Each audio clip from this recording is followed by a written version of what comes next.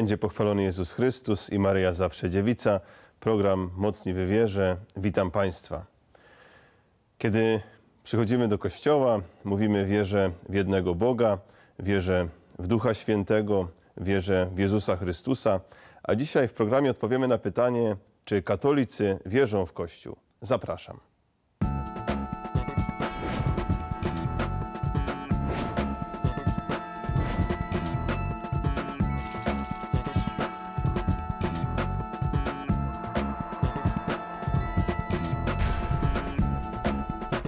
Naszym programie witamy księdza profesora Jana Perszona z Uniwersytetu Mikołaja Kopernika w Toruniu. Szczęść Boże. Daj Boże.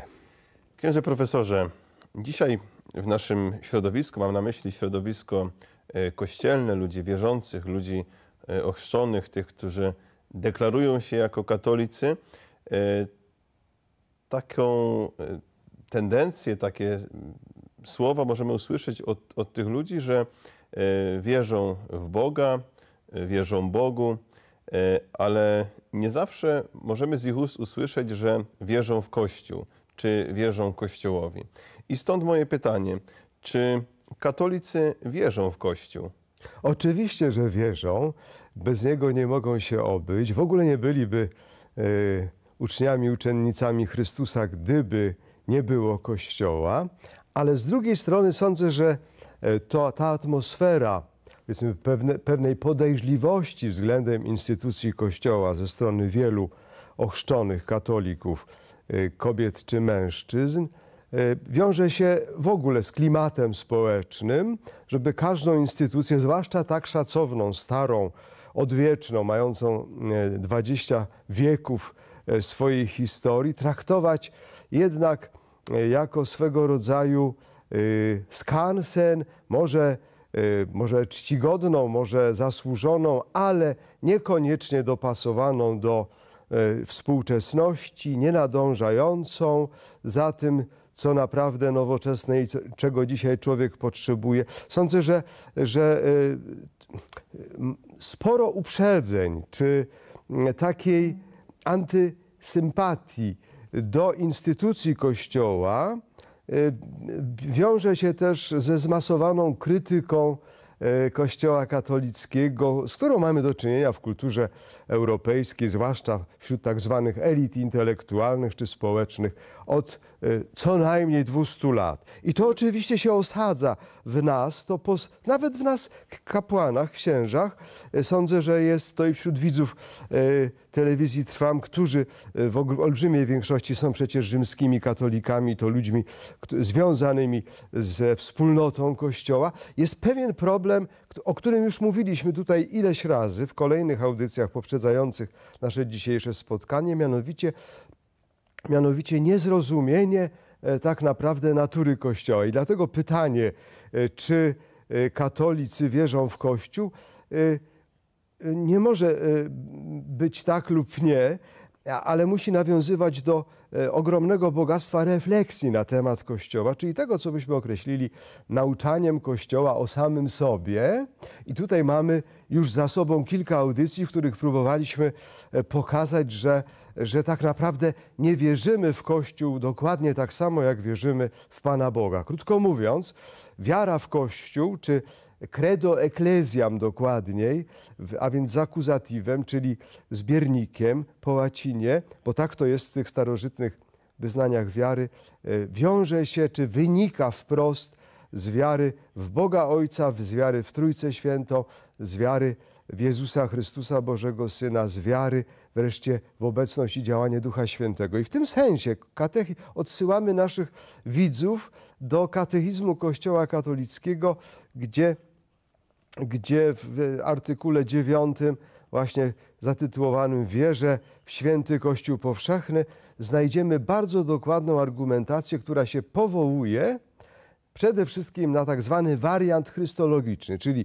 uzasadniamy nasze wierze w Kościół, jeżeli już tak musimy powiedzieć, od tego, y, że wpierw wierzymy w Jezusa Chrystusa, który ten Kościół założył, w tym kościele żyje i ten kościół niejako ciągle od nowa stwarza i kontynuuje, ponieważ jest jego sercem, jego duszą, jego zasadą życia. No właśnie, a zanim pójdziemy dalej, może by ksiądz profesor mógł w jednym zdaniu e, powiedzieć, jeśli my mówimy Kościół, e, jak ten Kościół rozumiemy? Czy jako budynek, czy jako e, instytucję, e, gdzie księża, biskupi, czy Kościół jako, jako Chrystus, bo mówimy, że Chrystus to, e, to Kościół.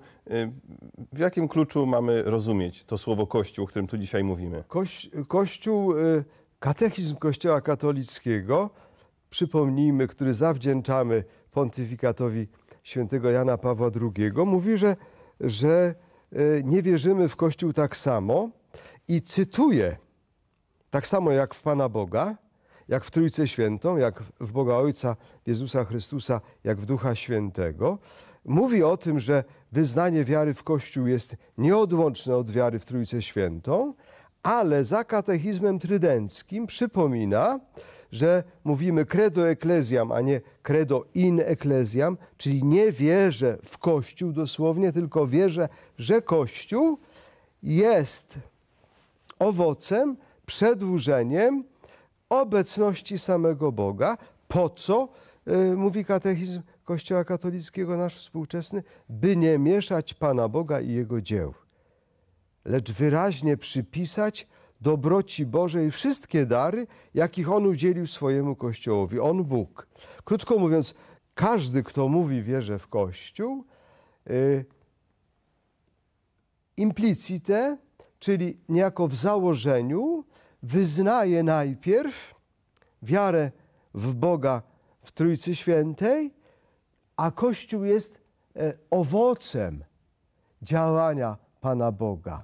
Krótko mówiąc, wierzymy wprost w Pana Boga, w Boga Ojca, Jezusa Chrystusa i w Ducha Świętego, który to Bóg dał nam wspólnotę swoją, e, unikalną, niepowtarzalną, jedyną, e, ze wszystkim, co w tej wspólnocie otrzymujemy, i za tym wszystkim kryje się nie działanie jakiejś instytucji, nie działanie jakichś wybitnych czy mniej wybitnych duchownych, ale ta wspólnota w całości, ze wszystkim, co ona nam daje, a więc przede wszystkim z, z życiem Bożym i z, z obietnicą, z pewnością zbawienia, jest owocem, jest dziełem samego Pana Boga.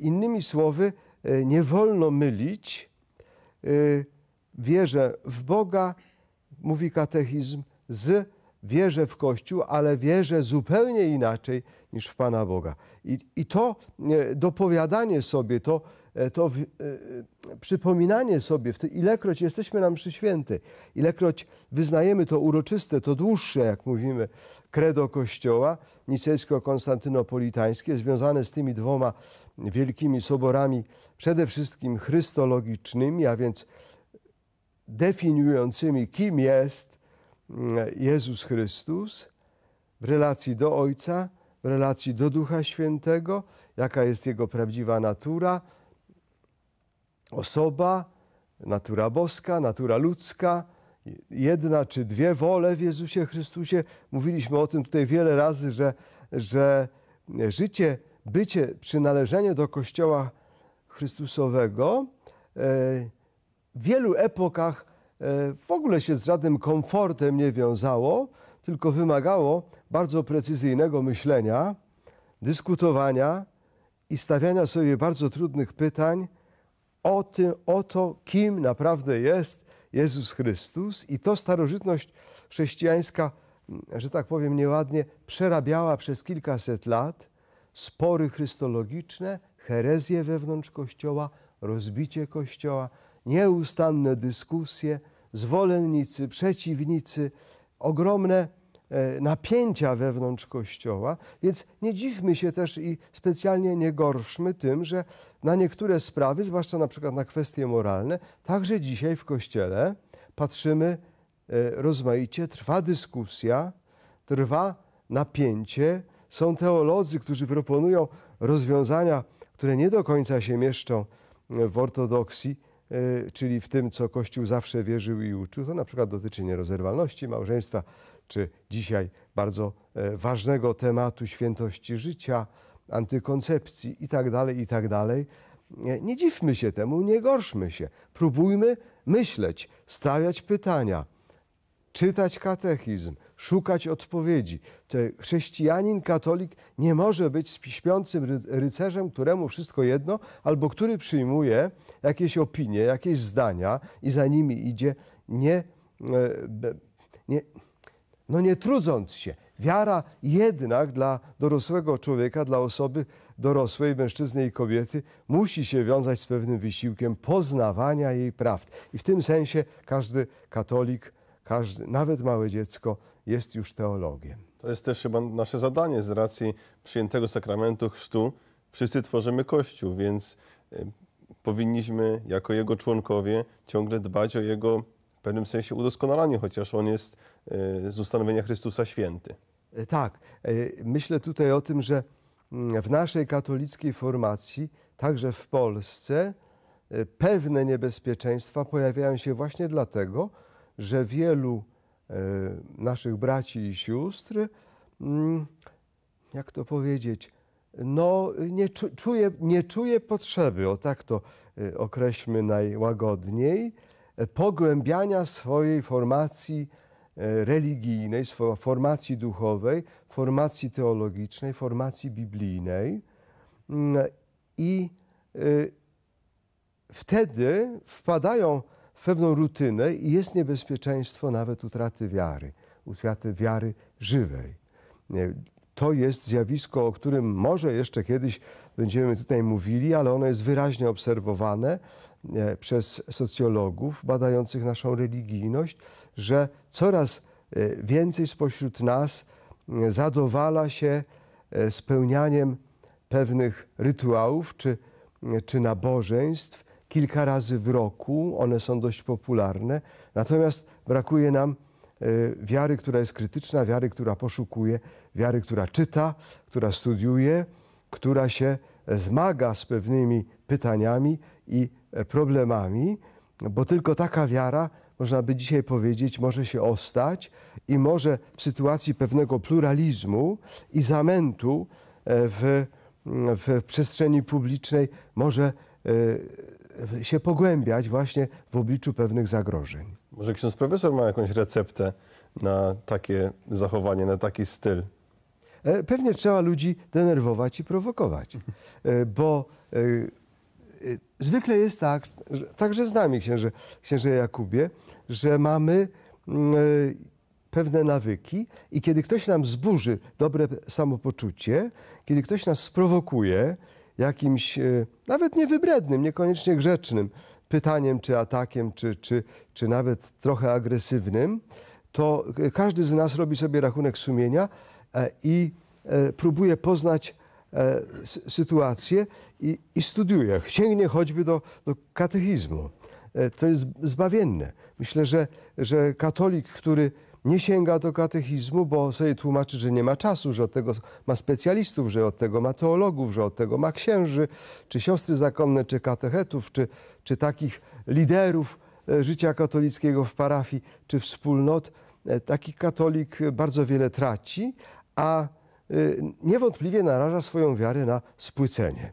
A y, jedno z pytań, które powinniśmy sobie robić przed spowiedzią w rachunku sumienia jest, czy troszczyłem się o rozwój mojej wiary. Nie tylko o regularną i dobrą modlitwę, nie tylko o udział w sakramentach, w niedzielnej Eucharystii, y, w, w życiu Kościoła, w zaangażowaniu charytatywnym y, Kościoła i tak dalej, w działalności misyjnej, czy czuję się za nią odpowiedzialny, ale także, czy troszczę się o, mój, o moją formację religijną, biblijną, teologiczną, choćby przez katechizm. To jest niesłychanie ważne i nasza audycja Mocni w wierze, dobra, dobra. Co to znaczy mocni? Mocni w tym, że e, będziemy deklarować, czy mocni w tym, że e, rozumiemy, co Bóg do nas mówi i czego od nas Chrystus w naszym czasie, a nie 100, 500 lat temu, czy choćby 20 lat temu oczekuje. Sytuacja się zmienia.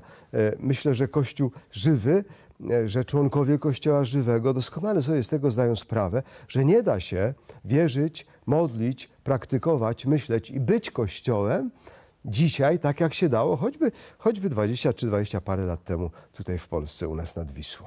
I nawet wtedy, kiedy mamy wrażenie, że, że tak zwana instytucja Kościoła jest ciągle silna, wpływowa, znacząca, y, co, co niektórych bardzo boli, czy denerwuje, czy, czy, czy oburza, czy, czy prowokuje, nawet wtedy, a może szczególnie wtedy musimy pytać, czy za tą fasadą jest życie, czy jest żywy Chrystus, czy jest Kościół, który naprawdę składa się z ludzi, którzy autentycznie żyją Chrystusem, Jego Ewangelią i w prostocie, w pokorze, tak, dodajmy tego, e, chcą być bardziej uczennicami i uczniami Chrystusa. Księże profesorze, czy Kościół jest celem naszej wiary? E, Nie, właśnie to wszystko, co tutaj mówimy, zmierza do tego, że nasze, nasze wyznanie, nasza wiara, e, także ta, którą deklarujemy publicznie i wspólnie recytujemy czy śpiewamy podczas e, niedzielnej czy świątecznej, czy, e, czy e, w, nawet w naszym pacierzu, liturgii domowej czy, czy eucharystycznej, że katolicyzm nie jest eklezjocentryczny że chrześcijaństwo jest chrystocentryczne, a jednocześnie zakorzenione w misterium Trójcy Świętej, o czym tutaj mówiliśmy. E, Jan Paweł II w książce Przekroczyć próg nadziei, do jej lektury, e, zwłaszcza młodszych e, naszych widzów, bardzo zachęcam, bo ta książka to są lata 90., to jest tam powiedzmy 96, 7 czy 8. Rok bardzo ciekawa, wywiad właściwie, na aktualne tematy, wtedy aktualne, więc przypomnę, to jest dwadzieścia parę, trzydzieści prawie lat temu, e, Przekroczyć próg nadziei, pisze, że, że w centrum Kościoła stale znajduje się Chrystus i Jego ofiara, sprawowana poniekąd na ołtarzu całego stworzenia, na ołtarzu świata. Chrystus jest w centrum. A ponieważ jest Chrystus w centrum naszej wiary, więc nie można nigdy jakby przestawiać porządków i koncentrować się na Kościele. Kościół nie znalazł się w credo przypadkiem. Mówiąc wierzę w Kościół, idziemy za starą tradycją, która uznaje, że właśnie ta wspólnota eklezjalna, Kościół rzymski, Kościół katolicki, Kościół apostolski, Kościół święty, Kościół jeden jest miejscem, jest przestrzenią, jest wspólnotą, w której możliwa jest wiara, Chrystusowa i zbawienie.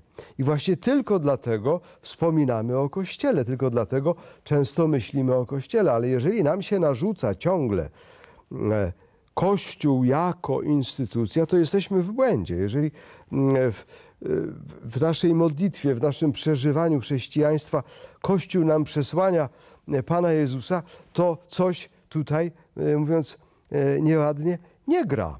To trzeba przestawić akcenty to przede wszystkim Kościół jest wierzący, jak powie Karl Rahner. Ta wspólnota e, mi służy, mi pomaga, mi e, stwarza warunki, żebym mógł pokochać e, całym sobą Boga. Ojca, Syna i Ducha Świętego. A więc Kościół jest uprzedni wobec naszego aktu wiary, dlatego że nas zrodził do wiary i Bożego życia. Wspólnota, oczywiście Kościół jest nieodzowny do Y, i niezbędny do y, zbawienia, ale przede wszystkim dlatego, że ta wspólnota sióstr i braci, która stanowi w świecie realny dom Chrystusowy, y, ona mi umożliwia, ona jest warunkiem sine qua non, koniecznym, nieodzownym do zbawienia tylko dlatego, ta wspólnota, że w niej zostałem zrodzony do życia Bożego przez chrzest. W niej otrzymałem E, kolejne sakramenty. W niej otrzymuje i głosi się i rozważa Słowo Boże. W niej poznałem e, Pana Boga i do Niego przylgnąłem. Ja nie myślę o instytucji, ja myślę o mojej mamie i tacie, który, którzy tworzą kościół domowy. Bo to jest kościół, to jest ta e, nuklearna, ta podstawowa, mówiąc nukleus po łacinie, myślę o tym, że to jest podstawowa komórka życia Kościoła. Następnym wspólnotą, który, która jest, w której właściwie przeżywamy nasze życie w Kościele, jest parafia. E, jest ta wspólnota, e, której głową jest proboszcz.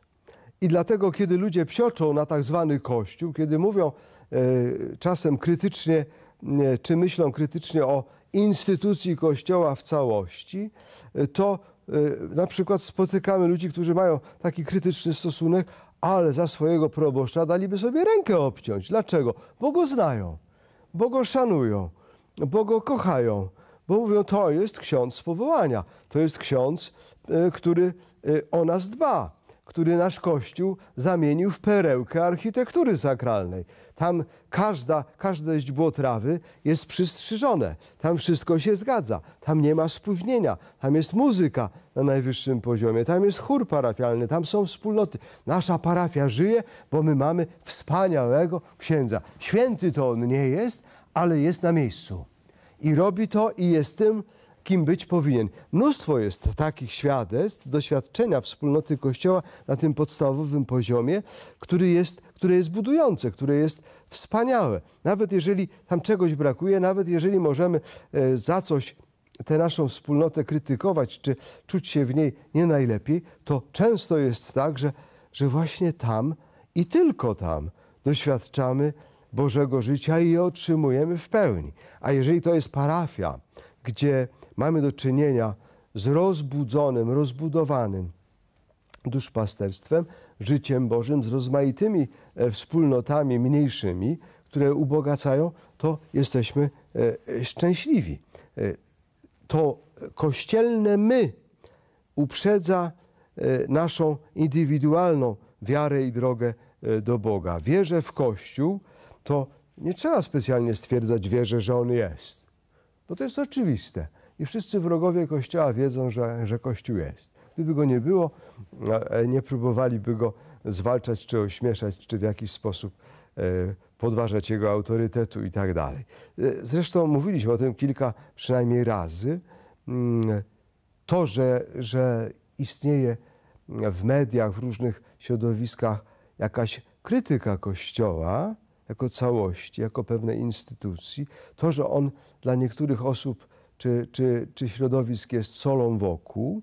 To, że on od wielu już e, dziesiątków, a jak mówiliśmy tutaj wcześniej, e, być może od ponad 200 lat, jest programowo zwalczany różnymi sposobami i dyskredytowany jako całość, Kościół rzymskokatolicki, dowodzi, że on jest widzialny, że on e, istnieje, że e, jego obecność w społeczeństwie e, prowokuje, a więc e, poniekąd spełnia swoją misję, o której Pan Jezus powiedział: Wy jesteście solą ziemi, wy jesteście światłem świata, nie chowa się światła pod korcem, aby, ale po to, aby świeciło wszystkim. Jeżeli jesteśmy krytykowani, jeżeli jesteśmy atakowani, to często jest w tej krytyce jakieś ziarno prawdy. I wtedy możemy powiedzieć, taka krytyka bywa oczyszczająca i błogosławiona, ale najczęściej tak nie jest. Najczęściej dla zasady zwalcza się e, Kościół. Dlaczego? Dlatego, że on przypomina człowiekowi o jego wielkości. On tę wielkość e, przeżywaną w relacji do Pana Boga pozwala człowiekowi odkrywać. Człowiek, który żyje autentycznie wiarą katolicką, nie jest słaby, nie jest podatny na jakieś wiatry historii, na jakieś teologie, jest mocny, jest silny, jest spokojny, można by powiedzieć. Nie poddaje się manipulacjom i w tym sensie Kościół e, e, w społeczeństwie e, znaczący, jako wspólnota aktywna, daje niesłychane, silne oparcie duchowe, psychiczne, nie tylko osobom, które znajdują się w trudnym momencie życia, w jakimś kryzysie, byśmy powiedzieli, tożsamości, w jakimś rozchwianiu, w jakimś ogromnym y, zakręcie życiowym, kiedy na przykład rozpada się im małżeństwo czy rodzina, wtedy Kościół jest. Kiedy ktoś wdowieje, wtedy Kościół, wspólnota Kościoła, mm, ta rodzina parafialna stają się niesłychanie ważne. Kiedy przeżywamy jakiś dramat osobisty. E, tak, ale przede wszystkim mówimy o tym, że, że wierzę w Kościół, to znaczy, że ta społeczna grupa, struktura, organizacja jest ciałem Chrystusa, jest sakramentem zbawienia, jest domem dla mojej osobistej drogi do Pana Boga. Także dla księdza. To jest ba- bardzo ważne, że ja mam taką wspólnotę, że ja nie jestem wyobcowany, że ja w moim kościele diecezjalnym, w moim kościele parafialnym, w moim kościele rektoralnym czy zakonnym e, czuję się e, chciany, kochany i jestem jednym z tej rodziny, tej wspólnoty.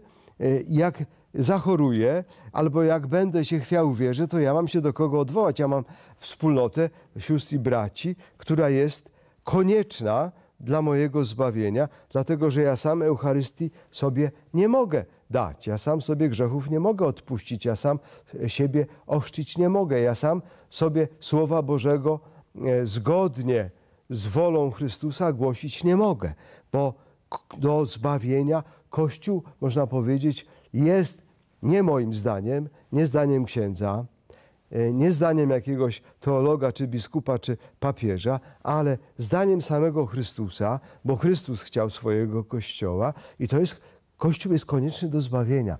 Rzymscy katolicy są o tym pewni, dlatego Kościoła bronią i dlatego w Kościół inwestują. Dlatego w Kościele nie tylko są widzami, kibicami czy biernymi konsumentami, choć nie jest to najlepsze określenie, ale oni się czują Kościołem, oni przeżywają Kościół, oni stanowią Kościół, oni Kościół budują, oni się czują za Kościół odpowiedzialni, oni z Kościołem współcierpią, kiedy coś złego się dzieje, kiedy jakiś grzech, kiedy jakiś skandal, kiedy jakieś zgorszenie.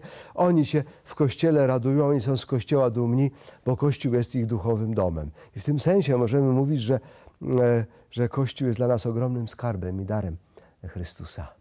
I to będzie piękne zdanie podsumowania, że Kościół jest darem, że Kościół jest skarbem Chrystusa, że Kościół jest tym miejscem, gdzie my jako katolicy, jako dzieci Kościoła mamy czuć się nie tyle dobrze, ale, ale bezpiecznie i czuć się tymi, którzy są potrzebni, I którzy w tym miejscu wzrastają, którzy są domownikami. Za to dzisiejsze spotkanie dziękuję księdzu profesorowi, dziękuję Państwu za uwagę i zapraszam na kolejny program Mocniej w wierze. Z Panem Bogiem.